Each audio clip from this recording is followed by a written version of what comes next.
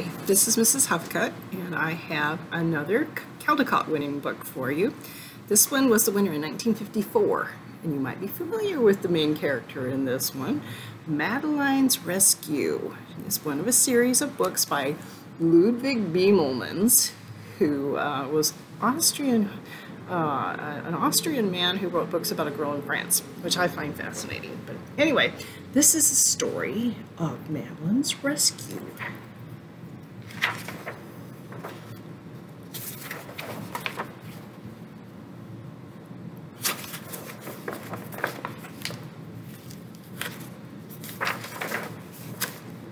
In an old house in Paris that was covered with vines lived 12 little girls in two straight lines. They left the house at half past nine in two straight lines in rain or shine.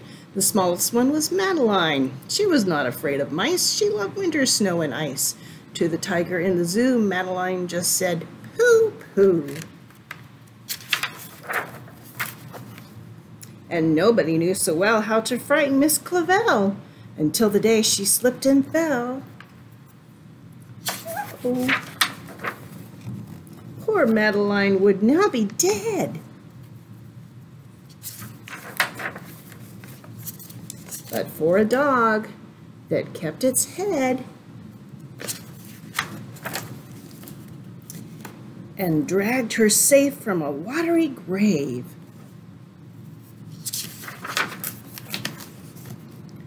From now on, I hope you will be you will listen to me. And here is a cup of chamomile tea. Good night, little girls. I hope you sleep well. Good night, good night, dear Miss Clavel. Miss Clavel, Miss Clavel turned out the light. After she left, there was a fight about where the dog should sleep that night. The new pupil was ever so helpful and clever. The dog loved biscuits, milk, and beef, and they named it Genevieve. She could sing and almost talk and enjoyed the daily walk. Soon the snow began to fly. Inside it was warm and dry, and six months passed quickly by. When the first of May came near, there was nervousness each year. For on that day there arrived a collection of trustees for the annual inspection. The inspection was most thorough, much to everyone's sorrow. Tap, tap, whatever can that be? Tap, tap, come out and let me see. Dear me, it's a dog. Isn't there a rule that says dogs aren't allowed in school? Miss Clavel, get rid of it, please, said the president of the board of trustees. Yes, but the children love her so, said Miss Clavel. Please don't make her go. I dare say, said Lord Cuckoo Face. I mean, it's a perfect disgrace for young ladies to embrace this creature of uncertain race. Off with you! Go on, run, scat! Go away and don't come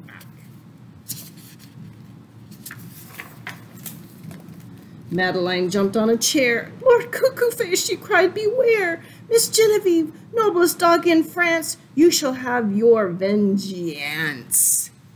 It's no use crying or talking. Let's get dressed and go out walking. The sooner we're ready, the sooner we'll leave. The sooner we'll find Miss Genevieve.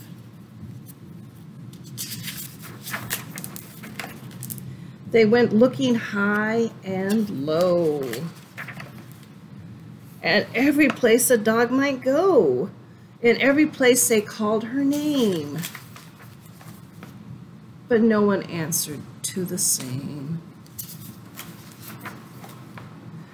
The gendarme said, We don't believe we've seen a dog like Genevieve. Hours after they had started, they came back home broken-hearted.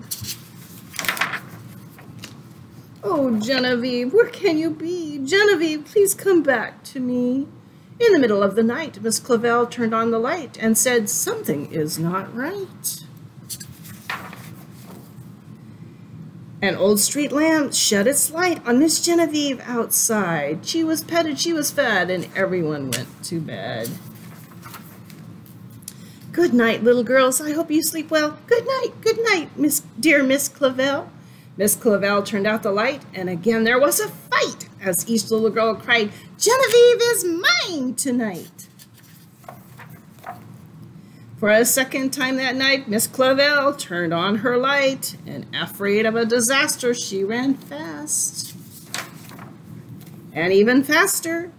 If there's one more fight above Gen about Genevieve, I'm sorry, but she'll have to leave. That was the end of the riot. Suddenly, all was quiet. For the third time that night, Miss Clavel turned on the light. And to her surprise, she found that suddenly there was enough hound to go all around. And that's the happy ending of Madeline's rescue. Thanks for listening.